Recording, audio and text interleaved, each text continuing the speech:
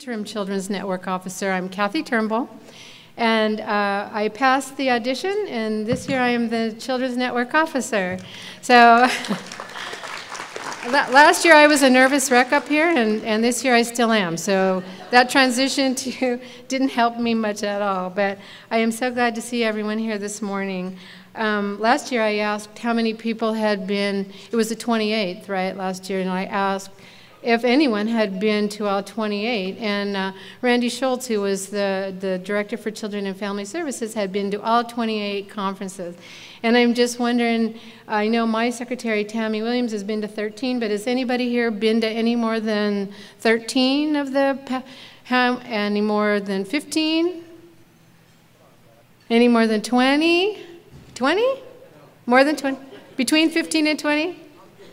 Oh, okay, okay. So next year we are going to be our 30th, and we're going to do kind of a commemorative thing and try and um, remember all of the folks that we've had as our keynote speakers. And so we'll probably have to get with some of the historians, folks that have been around for a while and been to some of the conferences, so that we can get all of the names and people and stuff in right in place.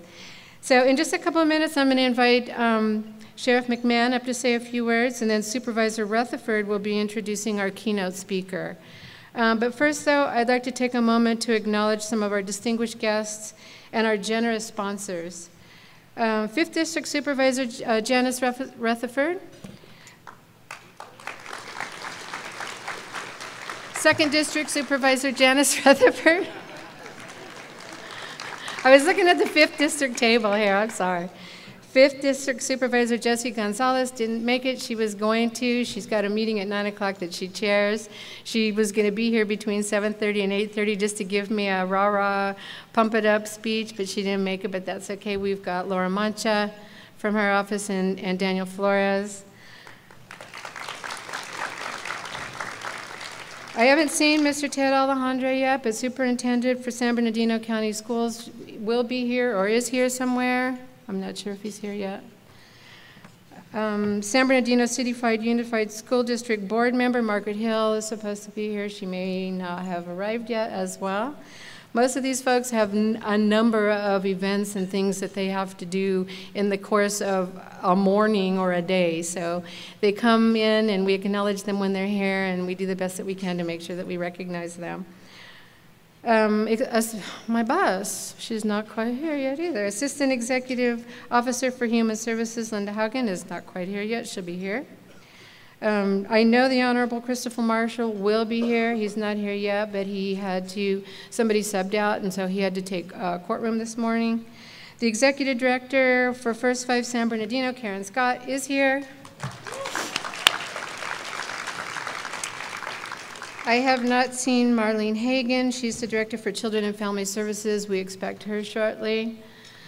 Um, Trudy Raymundo from the, uh, is the Director of Department of Public Health, and we expect her shortly as well. Assistant to the Director for the Department of Behavioral Health, Veronica Kelly, is here.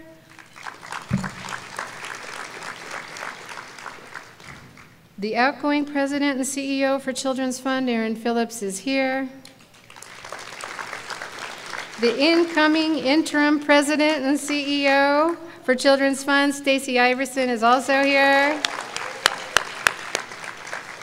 President and CEO of Young Visionaries, Terrence Stone. I've seen him with his selfie stick somewhere. From the San Manuel Band of Mission Indians, we have Lynn Osorio and Mindy Silva. I know they're here, I saw them. Deputy Chief Probation Officer Holly Benton is here. Health Officer for San Bernardino County Public Health, Dr. Ohikhuare, may be here somewhere.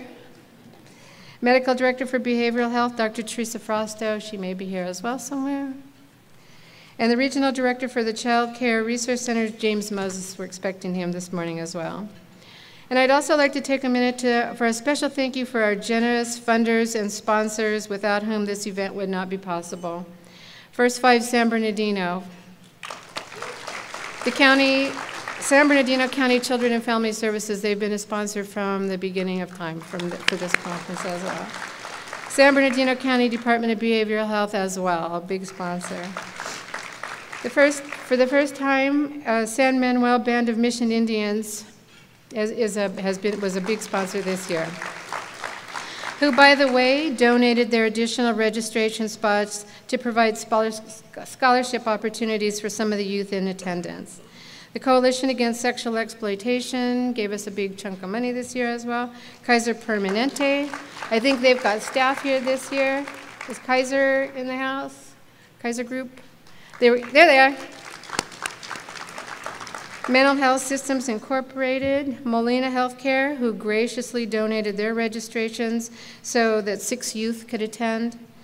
Crittenton Services for Children and Families, Loma Linda uh, University Health System, Department of Pediatrics, Inland Empire Health Plan, Children's Fund, who through their generous sponsorship has made it possible for 20 youth from San Bernardino High School to attend this conference this year. Foster Youth Services provided scholarships for four California Youth Connection young adults to attend this year. And I am very happy about that as well. San Bernardino County Preschool Services sent so many of their staff. I'm very happy about that. And last but certainly not least, the Children's Network staff, especially our event coordinator, Christy Lufek, and the exhibit hall coordinator, Denise McKinney. Honestly, it's, it's, it's like a little marketplace in the exhibit hall this year. I walked in there and they've got the little tables with little flowers and plants and the Casa Village um, on one section, all of the people who are donating a portion of what they've, um, what they make uh, during these two days to Casa of San Bernardino. So welcome to all of our exhibitors as well. I think we're piped in uh, there this year so they can hear us. Um, I, I, took off for the first three weeks in September, and somebody yesterday told me, "Wow, that was a pretty bold move with your uh, with your event coming up." And I said, "But these guys have been doing it for so long; they've got it down pat. And I mean, it is just it's it's in order. It is a well-oiled machine by now, and I am so grateful for all their hard work and that they didn't call me not one time in three weeks. So that, thank you to the Children's Network staff for sure." Um, and this year, you're going to notice we're going to do a couple of things different. Like, for instance, this morning, um, after our keynote speaker, we're going to take a little quick five minute break. Don't go too far away because it's kind of hard to corral six, seven hundred people again. So um, five minutes, maybe stretch your legs, get some water, some um, juice, and then we're going to have a, a, panel here. And then from 11 to 12 o'clock, instead of doing um, a breakout session this morning, from 11 until noon, there'll be book signing it back in the exhibit hall, and that'll give you an opportunity to see some of the exhibitors and also to get your uh, books purchased and get them signed. Um, and also this year, uh, we have youth uh, and young, young adults. I was corrected by saying young adults for the first time because I know a lot of you are young adults, but young, really young adults, and youth here for the very first time. And it is my uh, hope that the youth will enjoy this so much and that they will get so much out of this event. And um, maybe come back next year and do workshops. I'd like to have a, a whole youth track run by youth, um, attended by adults and youth, because what better way for us to find out what they need than to ask them or to hear from them. And when you get a couple of them together, you hear a lot of stuff that you wouldn't hear ordinarily, and some things you don't want to hear, but for the most part, it's beneficial and it can help you in your day to day work. And I found that as a line social worker, asking them kids what they wanted and what they needed was the best way to find out how to help them. So I'm hoping that this is going to be a, like a launching point having them here today for next year's conference to just um, enhance that. Um, let's see, I think that's it. Oh, now I would like, please join me in welcoming Sheriff John McMahon.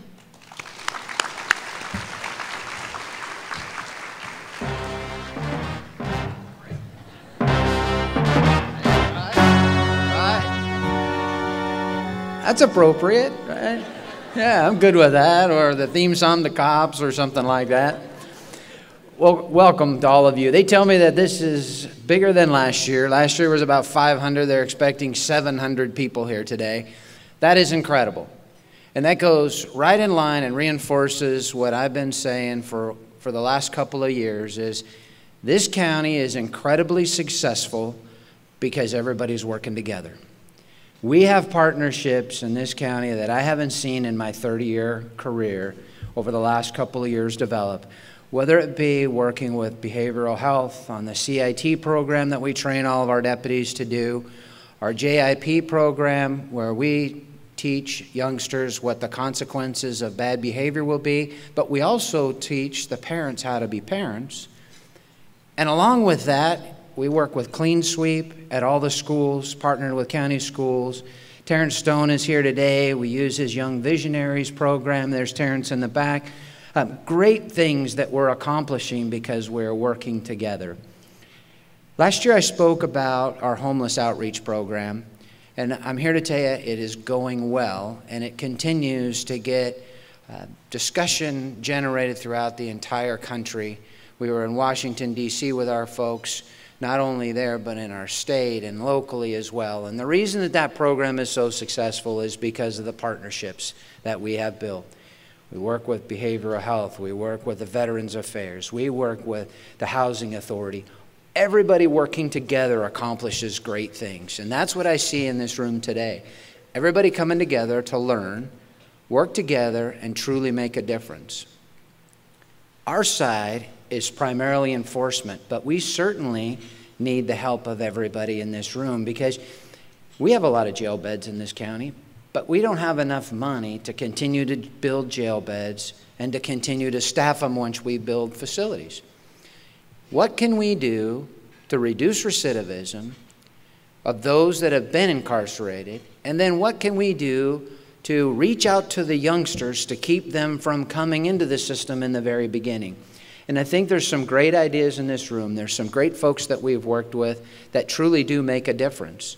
And that's our goal is to keep those folks that don't need to be in jail out on the street and have them be productive members of society living in houses, reunited with their families, with careers, paying taxes, which for some of us in this room, the more taxes that are paid, the more money we have for our budgets to do better work.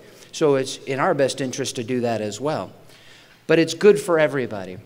Whether it be our homeless population or our criminal population, what can we do to make their lives better, which ultimately raises the quality of life for our county? I've said this a couple of times to business folks. When somebody comes to our county to re- relocate, whether it be a business or a residence, if they get off the freeway and they see a homeless guy that's trying to accost them while they're waiting for the signal, if they see graffiti, broke down cars, just everything in disrepair, they might just get back on the freeway and continue to the next town.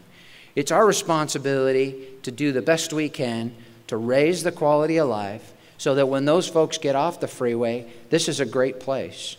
And I think collectively working all together, we can certainly make a difference. I talked about enforcement for just a minute, and let me touch on that. We're all familiar with Prop 47 and the changes in the law based on the voter initiative in November, reducing some prior felony crimes to misdemeanors. Now, whether we agree or disagree with all of that really doesn't matter because that's the law of the land at this point. But as a result, street level narcotics are now misdemeanors we have retooled our organization and taken the guys that were working the street level narcotics and converted that whole division into gang enforcement. That's where the work needs to be done. Because if we can attack the gangs and try to take them apart, we know we'll find the guns, we know we'll find the drugs, and that's where the true work needs to be done.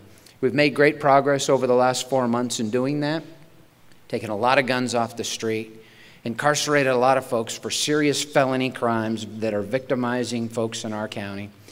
That's where the work needs to be done, but we can't do it alone. And folks like you in this room are a key part to our success and overall success of our entire county. Thank you all. I hope you have a great couple of days here.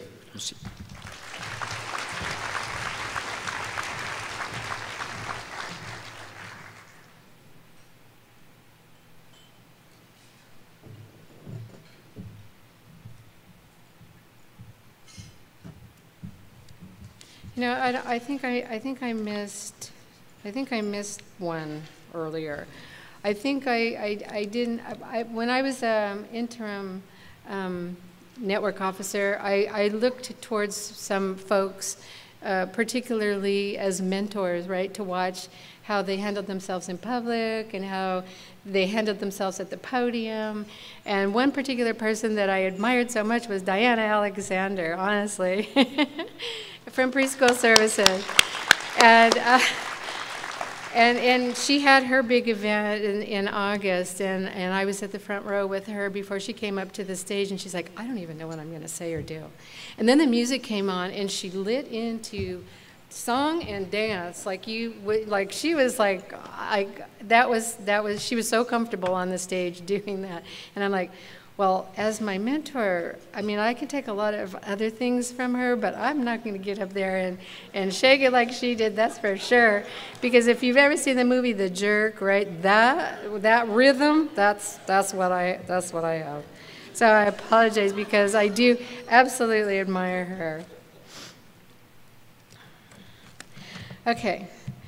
Second District Supervisor Janice Rutherford has led efforts to balance the county's budget and restore public confidence in county government since being elected to the San Bernardino County Board of Supervisors in November 2010. Voters elected her to a second four-year term in June 2014, and she has served as chair of the Board of Supervisors from January 2013 to January 2015. As a Girl Scout growing up in Upland, Janice learned the value of community service, and as a high school student in Ontario, she learned the importance of being an involved citizen. She went on to volunteer with Boys and Girls Club of Fontana. She joined the Rotary. She served on the Chaffey College Foundation Board, and she's an active member in her church. Janice earned her BA from the University of Riverside and holds a master's degree in American politics from Claremont Graduate University.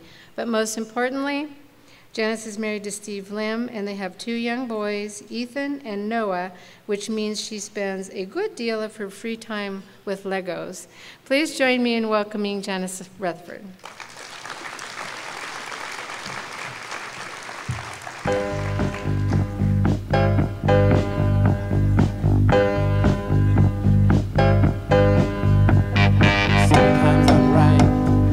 Where's Diana?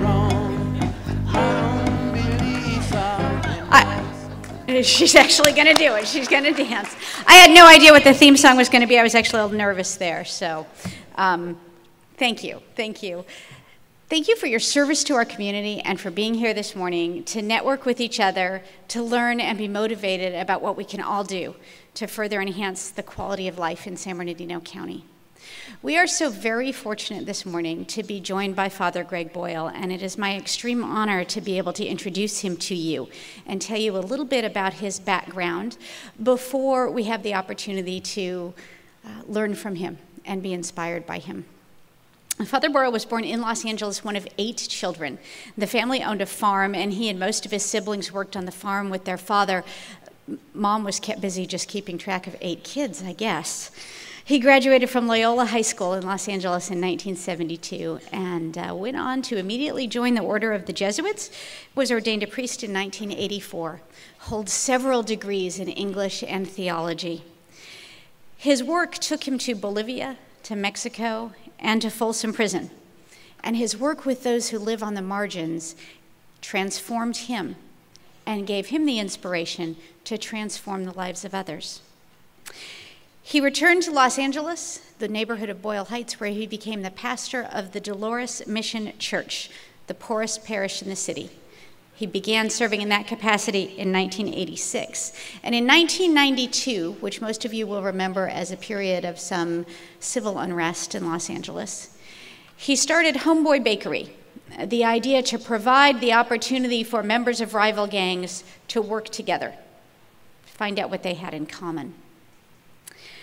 Homeboy Bakery launched a movement that is now Homeboy Industries that includes seven different social enterprises to give former gang members skills, to give them the opportunity to work together. And Homeboy, Homeboy provides a variety of services everything from AA to NA to parenting classes to anger management to tattoo removal. I think 36,000 tattoo removals last year transforming lives inside and out. I had the opportunity to tour Homeboy uh, about a year ago, I think. And while I was talking with Father Boyle and seeing how the lives were being changed there, I knew we needed something like that here in San Bernardino County. And probably a lot more than one of them because we've got the largest county in the country, right? Unfortunately, that means we have, as Sheriff McMahon alluded to, one of the largest jail systems in the United States. Are we seventh largest, Sheriff? Seventh largest jail system in the country. That's too big. That's too many people incarcerated, and our jails are not equipped to be able to transform their lives. Now, I firmly believe there are some people in this world who are evil and who just need to be locked up. They're not interested in change or transformation. But there are so many who are, and we don't do enough to help them with that transformation. So I sat with Father Boyle and I said, What do we do to bring Homeboy to San Bernardino County? And I heard about the programs and I heard about the social uh, enterprises. But then I looked at him and I said, How do we clone you? And this most humble man in the universe said, You don't need to clone me. You need to create a sense of community, a sense of kinship, so that your people can transform themselves. I hope today that you will all catch a spark of his vision, his wisdom, his humility, his deep desire to serve, and the ideas that he has generated from so many years of watching over these transformations and loving people through these transformations, and that in his words, some of you in this room will feel inspired to become the Father Boyles of San Bernardino County so that we can transform more lives here. Ladies and gentlemen, it is my distinct honor. Would you please join me in welcoming Father Gregory Boyle?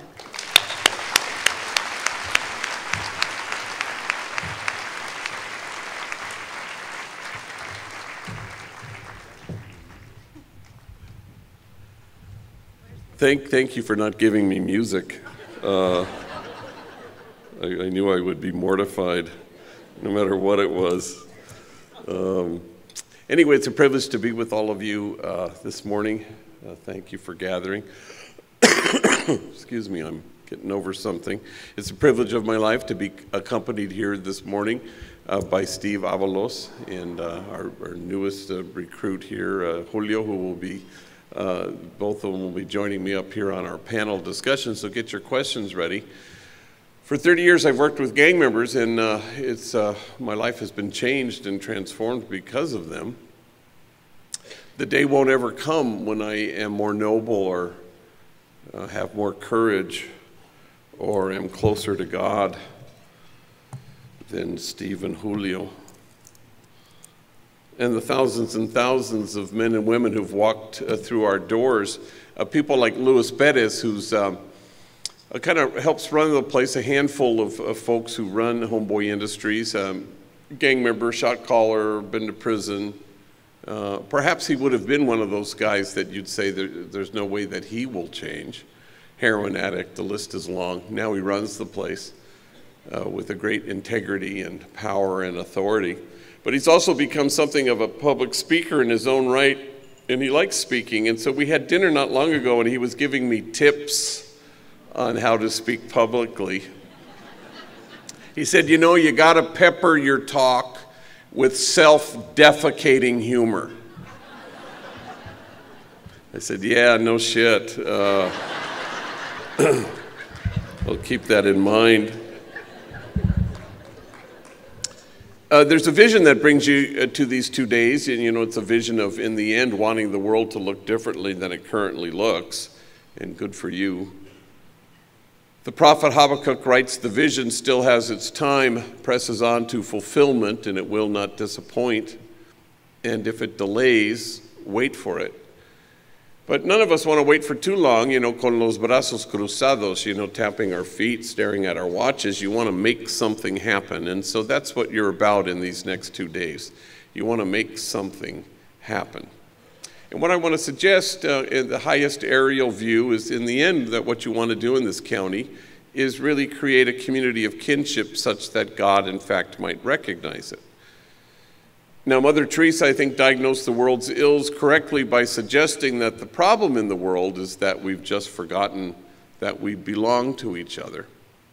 How do we together stand against that idea? How do we imagine a circle of compassion and then imagine nobody standing outside that circle? So, part of our task, a communal task, uh, is to dismantle the barriers that exclude. And part of what all of you do for a living is that you have found your way in your own particularity out to the margins. And here's the truth about the margins if you stand at the margins, look under your feet. The margins are getting erased precisely because you chose to stand there. And you stand with the poor and the powerless and the voiceless. You stand with those whose dignity has been denied, and you stand with those whose burdens are more than they can bear. Every once in a while, you get quite privileged to be able to stand with the easily despised and the readily left out, with the demonized, so that the demonizing will stop, and with the disposable uh, so that the day will come when we stop throwing people away.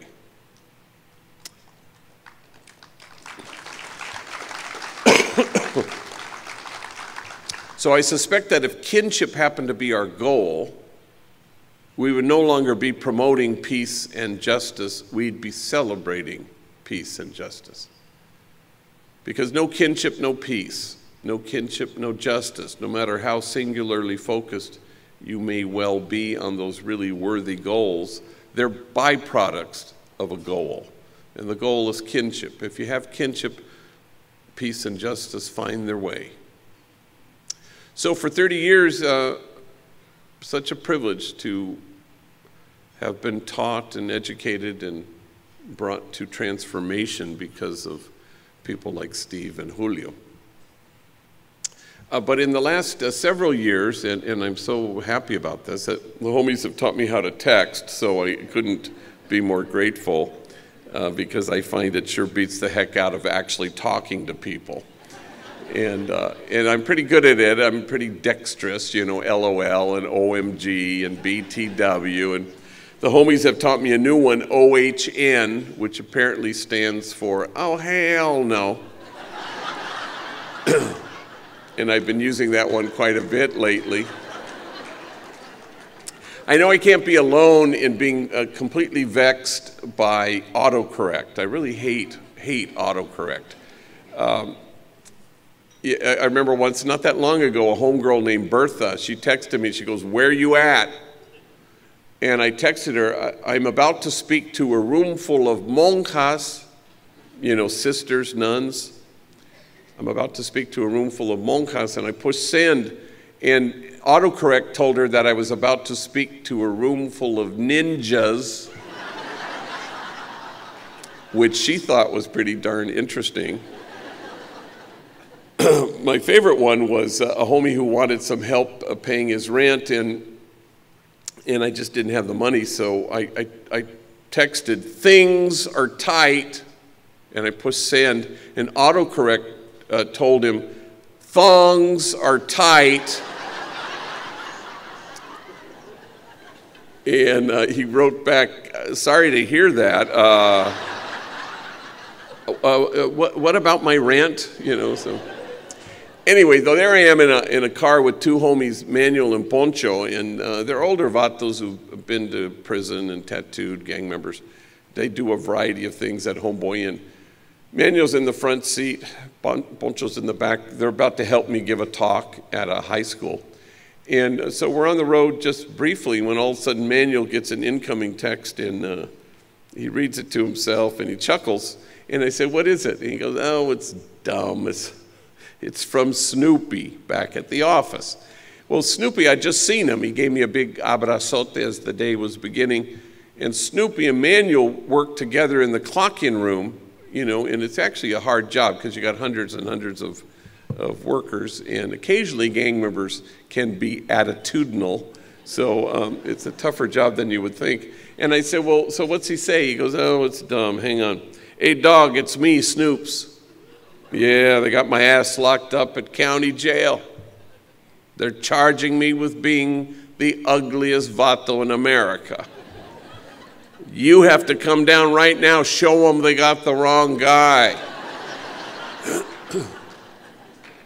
well, we died laughing, and, uh, and then I realized that Manuel and Snoopy are enemies. They're from rival gangs. They used to shoot bullets at each other. Now they shoot text messages. And there's a word for that, and the word is kinship. How do we obliterate once and for all the illusion that we are separate, that there is a difference, that there is an us and a them? How do we bridge that distance so that there is no daylight that separates us?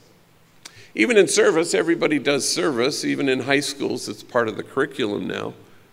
Um, and service is a good thing, obviously. But service is where you start, it can't be where you end. Service is the hallway that gets you to the ballroom. You want to get to the ballroom, which is the place of connection and mutual, exquisite mutuality, uh, the place of kinship. That you want to get to the ballroom. At, Homeboy Industries, I'm not the service provider and he's the service recipient, you know. We, we, we look at it that way, and that's a trap, and, and we want to catch ourselves.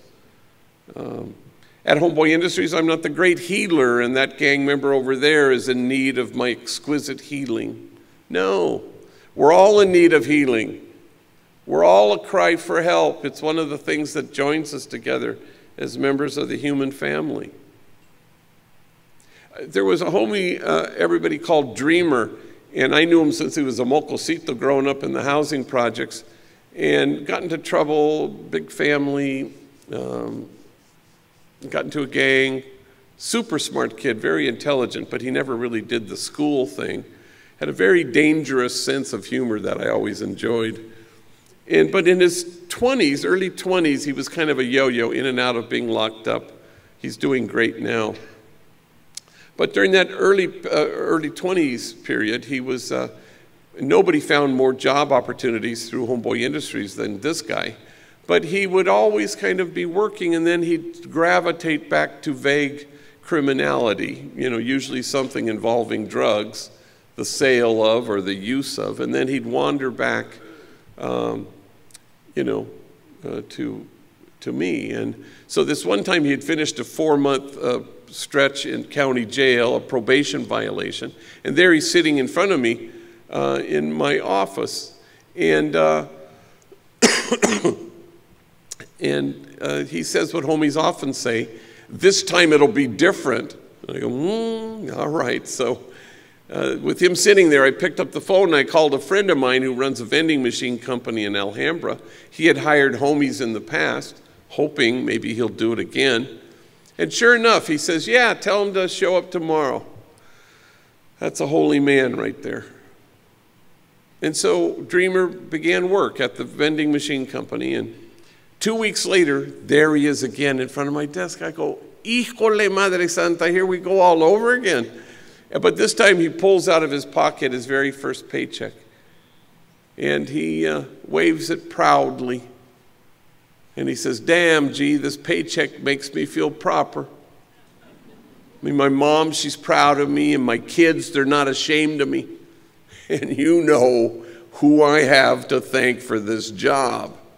And I said, well, gosh, you know, who? And he looked at me strangely and he said, well, God, of course. Oh, sure, no, no, that's right. That, that would be God, yeah.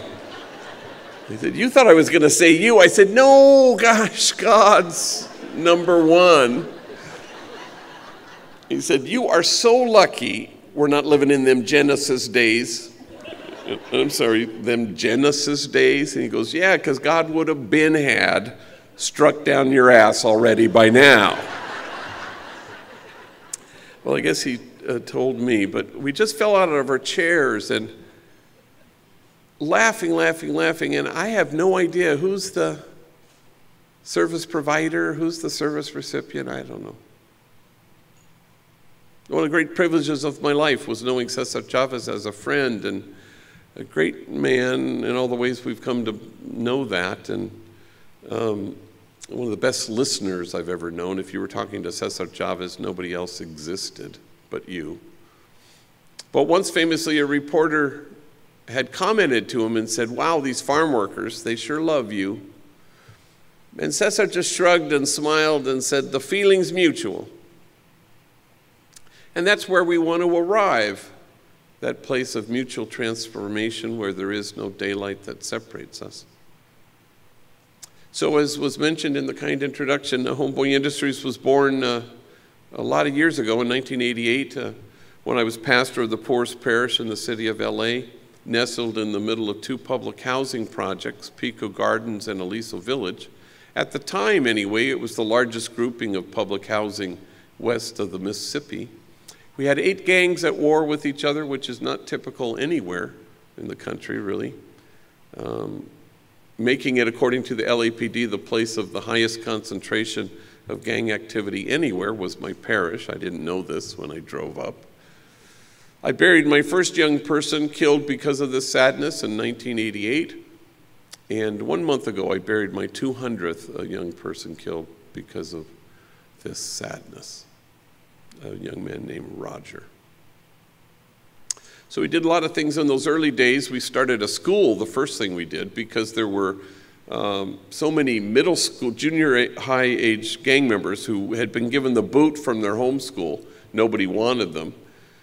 Uh, so they were wreaking havoc in the projects. They were violent. They were selling drugs. They were writing on the walls. So I walked out to them and I would kind of isolate each one and I'd say, hey, if I found a school that would take you, would you go? And to my surprise, every single one said, yeah. And then I couldn't find a school that would take them. You know, that kind of forced my hand a little bit. So, um, right across the street from the church is our elementary school, our parochial school. And um, first two floors our school. But the entire third floor was the convent, you know, where the ninjas lived. And uh, so I gathered all the nuns together and I said, hey, you know, would you guys mind, you know, moving out? And uh, we could turn the convent into a, uh, a school for gang members. And they said, sure. So that's what happened. And gang members came in la- uh, large numbers. It was a tough school, fights all the time, because there were enemies, you know. But they showed up because the teachers loved them. And then they said, if only we had jobs. So myself and the women in the parish, we marched around the factories that surrounded uh, the housing projects, trying to find felony-friendly employers, you know, and that wasn't so forthcoming. So, um, so um, we invented things. You know, we had a, um, a crew that built a child care center on the property, and we had uh, graffiti removal crews and light landscaping and maintenance crews and and by 92, when we had the unrest in the city, uh, our community, which everybody fully expected would explode, didn't. And LA Times and others started to ask why, and I said, I think it's because we got 60 strategically hired gang members, and there was suddenly a kind of an investment in, in, in their community, and it didn't explode. So a movie producer um, heard this, summoned me, and he said, What do you want me to do with my money? And I said, Well, buy this abandoned bakery across the street from the church. It has ovens. I don't, we'll put hair nets on rival enemy gang members. They can bake bread. We'll call it Homeboy Bakery. And that was the entire extent of my business plan. And he said, Sure. So we were off and running. And a month later, we started Homeboy Tortillas in the Grand Central Market. Once we had plural, we come up with the highfalutin Homeboy Industries name as if there was any industry involved in this, you know, and and not everything worked. I'll, I'll be the first to admit it. Homeboy Plumbing really was not hugely successful.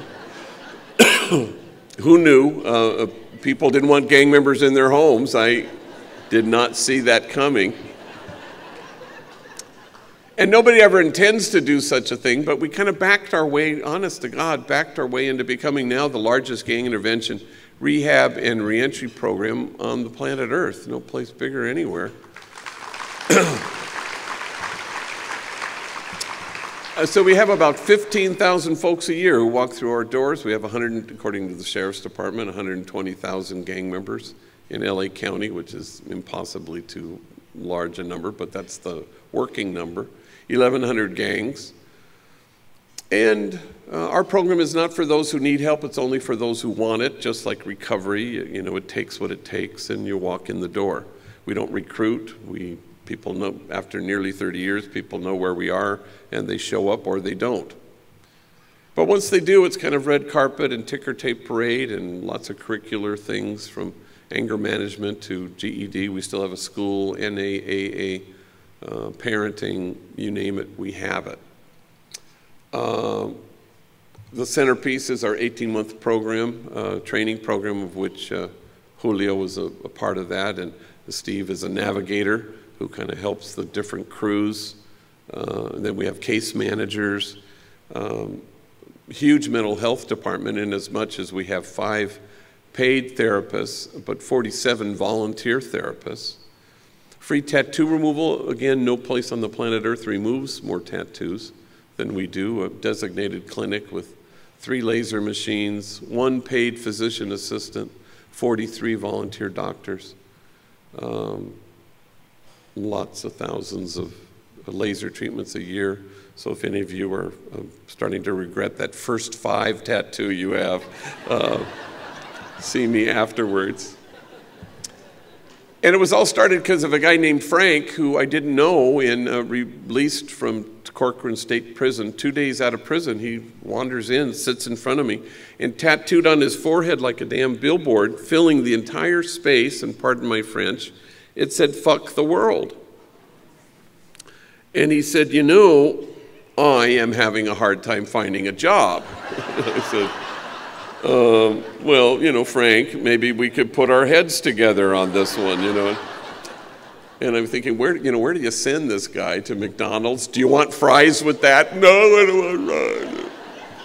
Mothers clutching their kids, running out of McDonald's. So I, I hired him naturally, and um, he bagged bread for two years for us. And then I went in search of a doctor with a laser machine. I found one at White Memorial Hospital who donated one hour a month. When I think back on that, I go, yikes. Very generous, but it was, you know, to chip away at Frank's forehead and a few others. And before too long, I had a waiting list of 3,000 gang members who wanted that very same service. So we couldn't obviously stay with that arrangement. And now Frank is a uh, security guard at a movie studio, and there is no trace whatsoever of the dumbest, angriest, stupidest thing he'd ever done proving that everybody in this room and outside of it is a whole lot more than the worst things they've ever done.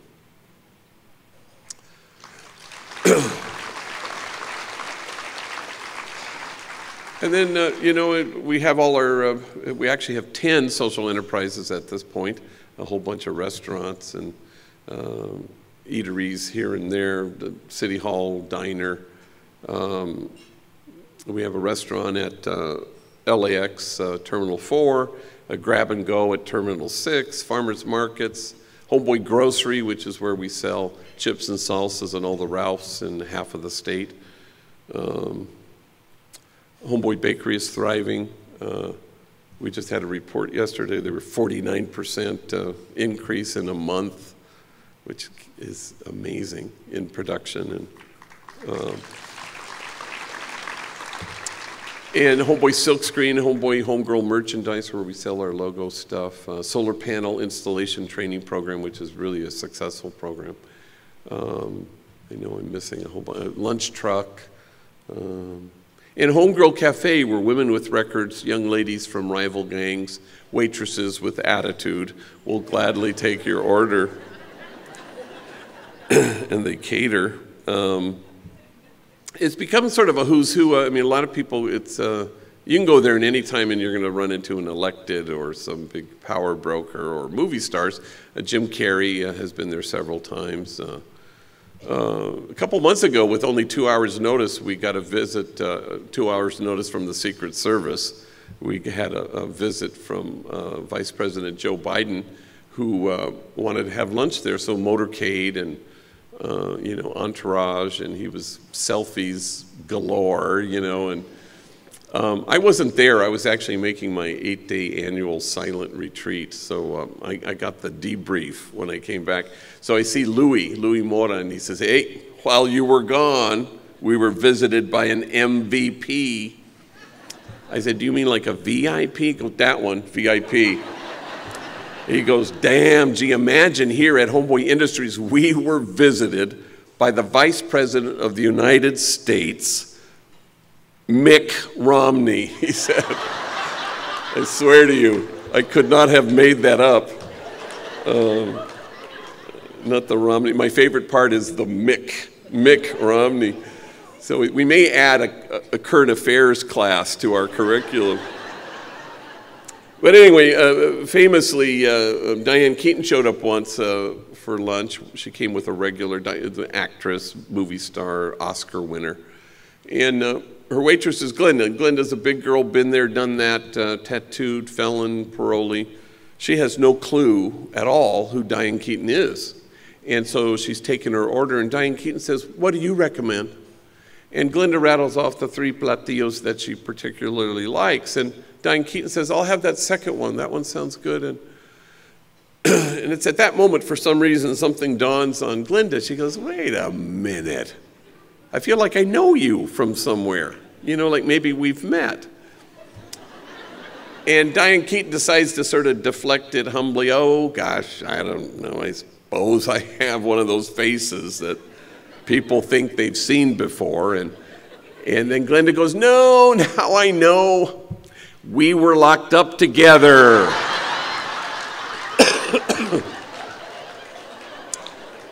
honest to God, that just took my breath away when I heard it. And, and I don't believe we've had any further Diane Keaton sightings now that I think of it. But suddenly, kinship so quickly. Oscar winning actress, attitudinal waitress, exactly what God had in mind. And if you'll permit me, Jesus says to the gathered, that you may be one. That's the whole deal. That's the goal. That's God's dream come true. Kinship. Standing against forgetting that we belong to each other. All of us are called to be what Alice Miller, the late great child psychologist, called enlightened witnesses, people who, through your kindness and tenderness and focused, attentive love, return people to themselves. And you get returned to yourself in the process. That's the way it works. At Homeboy Industries, we don't believe in holding the bar up and asking people to measure up. You just hold the mirror up and tell people the truth, knowing that your truth is my truth, and my truth is a gang member's truth, and it's all the same truth, and here's the truth. You are exactly what God had in mind when God made you. And then you watch folks on the margins as they suddenly become that truth. They inhabit that truth. And no bullet can pierce it. No four prison walls can keep it out. And death can't touch it because it's huge. But part of the task of everyone in this room, I suspect, is you have to occasionally reach in and you have to dismantle the messages of shame and disgrace that get in the way, that keep people from seeing their truth because it's absolutely true that the principal suffering of the poor throughout history is shame and disgrace. I invite you to sometime to take a leisurely stroll through the Acts of the Apostles, not because it's a, some quaint snapshot of life in the earliest Christian community, but in fact, it's the measure of health in any community at all. Things will leap off the page. Things like, see how they love one another. It doesn't get better. There's nobody needy in this community. Wow. A better metric you couldn't find. But my favorite one is an odd one, and it says simply this And awe came upon everyone. And it would seem that the measure of health in your community, in anybody's community, may well reside in our ability to stand in awe at what the poor have to carry, rather than stand in judgment at how they carry it. Uh, some years ago, I was invited to speak to 600 social workers in Richmond, Virginia, And as is often the case, I say, oh, sure, sure, yeah, no, that sounds great. And then I don't really read what it is I'm being invited to do. So then I presume, you know, keynote, maybe open it like today, or close it, or lunch, or something. So I finally look at what is this thing? And I, I and it and it's a one day thing, nine to five. It's social workers. It's a gang in service. I am to be the only speaker at this thing. And so I quickly invited in the two homies uh, uh, working there at the time, uh, Andre and Jose, and I sit them down. I said, You're flying with me to Richmond, Virginia. I want you to get up and tell your stories. Take your time, because we got a long ass day to fill.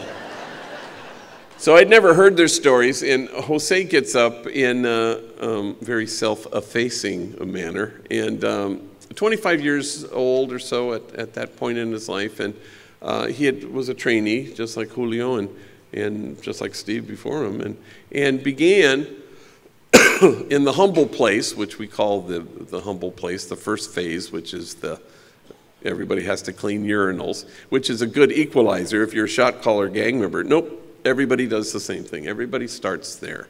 And then he worked his way up and did a variety of things. He ended up being a very valued member of our substance abuse team, uh, a man solid, solid in his own recovery. Gang member, tattooed, parolee, but uh, also had a long stretch of time uh, as a homeless man, an even longer stretch as a heroin addict. So he got up and began in this very kind of low key way. He said, I, I, guess you could say my mom and me, we didn't get along so good. I think I was six when she looked at me and she said, Why don't you just kill yourself? You're such a burden to me. Well, 600 social workers gasped. And then he said, It sounds way worser in Spanish, you know. We got whiplash going from gasp to laugh. He said, I think I was nine when my mom drove me down to the deepest part of Baja California. And she walks me up to an orphanage and she knocks on the door. And the guy comes to the door and she says, I found this kid. And she left me there for 90 days. Until my grandmother could get out of her where she had dumped me, my grandmother came and rescued me. My mom beat me every single day of my elementary school years with things you could imagine and a lot of things you couldn't. Every day, my back was bloodied and scarred. In fact, I had to wear three t shirts to school every day. First t shirt because the blood would seep through, and Second t shirt, you could still see the blood. Finally, the third t shirt, you couldn't see any blood. Kids at school, they'd make fun of me. Hey, fool, it's 100 degrees. Why are you wearing three t shirts? And then he gets overwhelmed with emotion and he can barely continue. And he seems to be staring at a piece of his story that only he can see. And when he can speak, he says through his tears, I wore three t shirts well into my adult years because I was ashamed of my wounds. I didn't want anybody to see them. And now I welcome my wounds. I run my fingers over my scars. My wounds are my friends. After all, how can I help heal the wounded if I don't welcome my own wounds? And awe came upon everyone. The measure of our compassion lies not in our service of those on the margins, but only in our willingness to see ourselves in kinship with them but also in our willingness to do one more thing. If you cannot welcome your own wound, you will tend to despise the wounded, and you can't let that happen. Nobody in this room has ever met a healthy treatment plan that was born of a bad diagnosis. That's never happened. Ever. Nobody has ever met a hopeful kid who joined a gang. That has never happened in the history of kids or in the history of gangs. Not once has that ever happened. Once I was on the Dr. Phil show. I know, what, what was I thinking? But well, we thought we had talked the producers down from doing something dumb, and so there I am backstage, and I can hear Dr. Phil. And now, ladies and gentlemen, the founder and executive director of Homeboy Industries, Father Greg Boyle. So I walk out there, and to my horror, the audience is clapping up in these big bleachers. There he is in the middle of the stage, sitting on his stool. My empty stool awaits me. On his side of the stage is this gorgeous, beautiful mahogany coffin on those four wheeled gurney deals, you know. Uh, and on my side of the stage is a perfectly reconstructed jail cell with bed, toilet, sink, bars. They went to great expense for these two set pieces. You already know where this is going. So they fly out little guys, 14, 15, 16, African American, Latino, and a Caucasian kid, with their very distraught single mothers. They fly, take them in one at a time. And with each kid, Phil sort of grabs them by the lapel figuratively.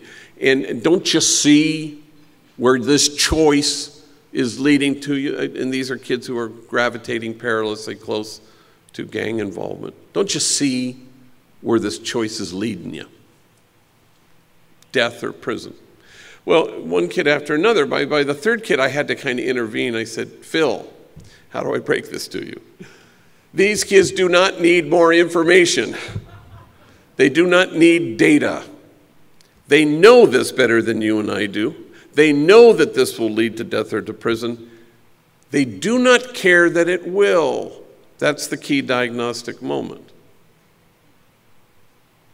No kid is seeking anything when he joins a gang, ever, always fleeing something.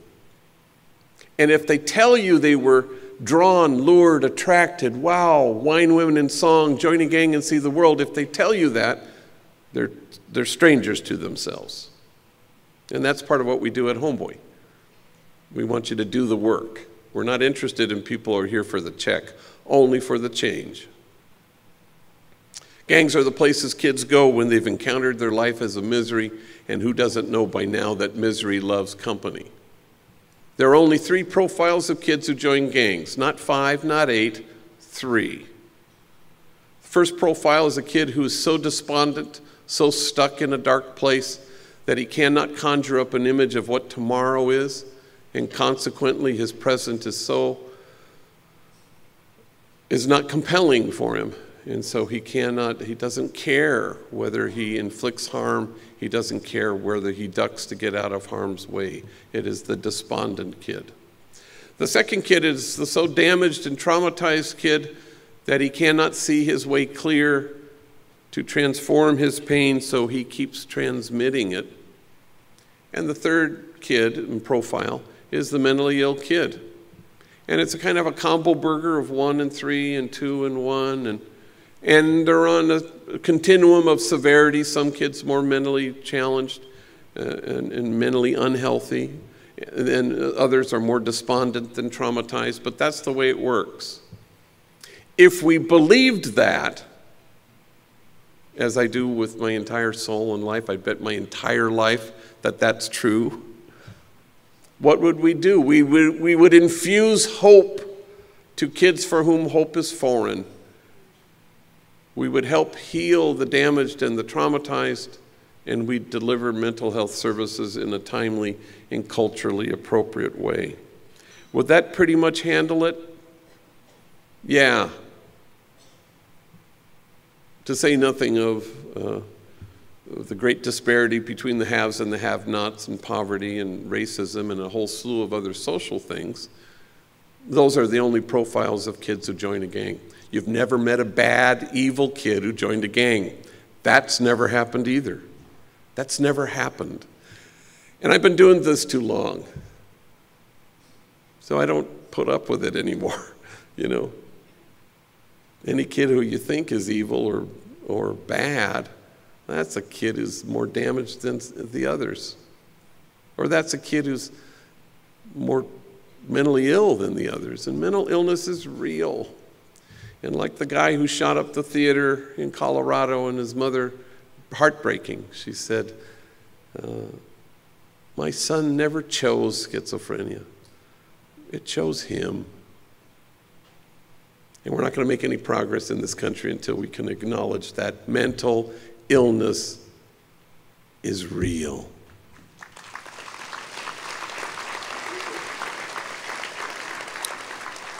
But we're simple. We would like to strike the high moral distance. That's not me. Don't those people know the difference between right and wrong? And that's why we don't. We can't have compassion for somebody who shot up a, a theater because it's so egregious. Shame on us. I've never had to carry what that guy has had to carry ever. And because I had a nephew who was schizophrenic and hung himself in my sister's basement, the sweetest, nicest kid, and he hung himself because he didn't want to shoot up a theater in Colorado, basically. And he didn't choose schizophrenia, it chose him. Shame on us. Because that requires a compassion that's superhuman. And that's where we need to be. And we won't make progress until we get there. That's an editorial comment. Let me end here. People always ask about that, and we're going to have a chance to have a question and answer after our break. But people always ask, I'll anticipate a question about enemies working side by side with each other. It's difficult at first, but a homie will come in, I'm ready, ready, ready. I go, okay, I have an opening in the bakery, but you have to work with X, Y, and Z, and I rattle off the names of rivals, enemies. And they always think for a long time, and then they go, okay, I'll work with them, I'm not going to talk to them. And this used to always bother me in the early days until you discover, of course, that it's impossible for human beings to demonize people they know. You can't, humans can't pull it off. So I had a homie, a little chaparito, 19 years old. Everybody called him Youngster. So Youngster I thought was ready. I bring him to Homeboy Silk Screen Factory. I've been around 21 years, 2,500 customers, high quality, reasonably priced. We UPS to San Bernardino County. So I'm introducing him to his 30 coworkers and a lot of enemies, a lot of rivals in this batch. And I, and I watch him. He shakes hands, look him in the arm, firm handshake. And I go, wow, this is great. Until he gets to this last guy, everybody calls Puppet. and Puppet seems to be wanting to avoid this encounter altogether. And, and when they're in each other's vicinity, they mumble something, they stare at their shoes, they don't shake hands. Well, I know they're enemies because I know what gangs they're from, but he just shook hands with a whole bunch of enemies. I discover later that this was a hatred uh, that was really quite personal and beyond which neither of them thought they could really get past. So I sensed that much at the moment. And so I said, Look, if you guys can't hang working together, let me know. I got a bunch of people who want this job. Calladitos, they don't say a word. Well, six months later, Puppet leaves his home and goes to a corner store some distance from his house, and uh, he purchases something.